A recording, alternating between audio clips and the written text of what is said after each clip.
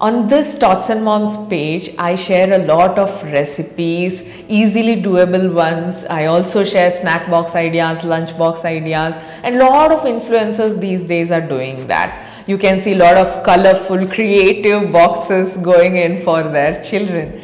And most of us feel stressed, I do understand, but I definitely swear by it because it is necessary to have a wholesome breakfast and pack them healthy lunch box as well.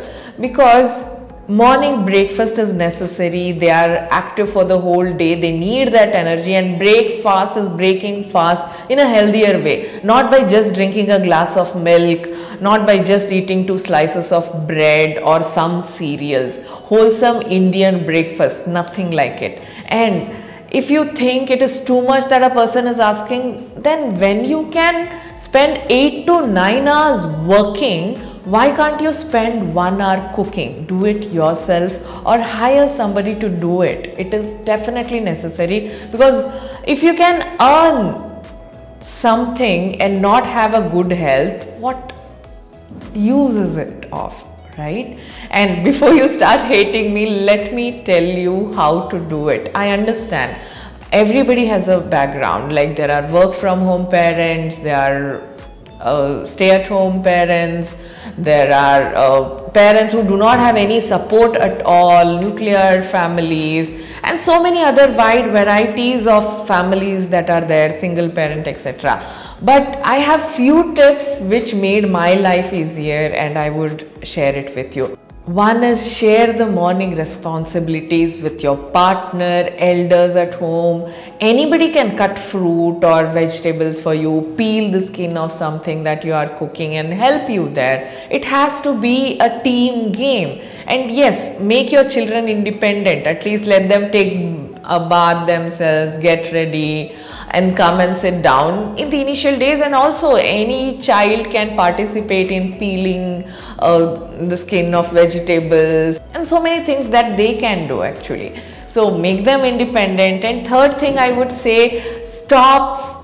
focusing on perfection. Just go by it. Whatever you can do whatever somebody can contribute in that daily event is great.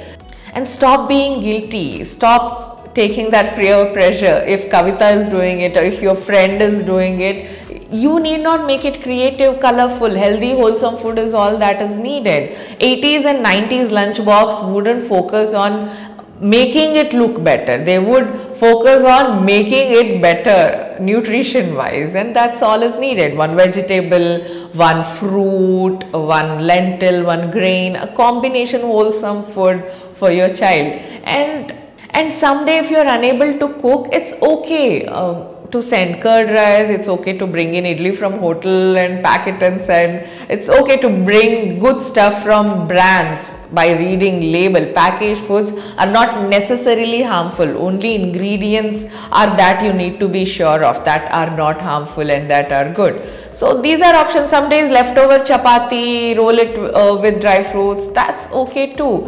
And there are days when I don't feel like cooking. What do I do? I go cuddle in with my child. I touch his skin. I uh, cuddle my daughter. I take them, give them oil massage and bathe them. Giggle, dance, sing while bathing them and get them ready for the school. Meanwhile, my husband would have packed a decent looking lunch box. Yes, that's why I said don't stress on the look and feel it's okay some days for your child to go with anything and keep yourself happy, joyous, peaceful. Only then you will be able to manage all these things.